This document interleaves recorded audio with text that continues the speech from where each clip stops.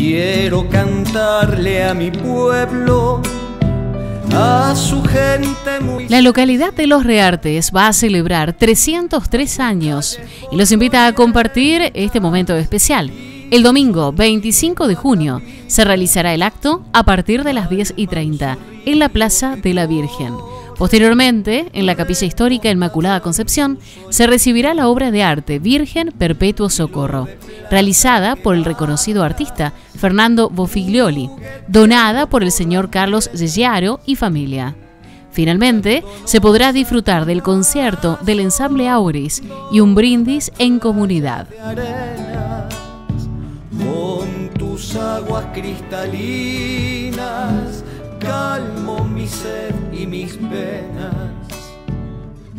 Cuando lejos yo me encuentro de este lugar.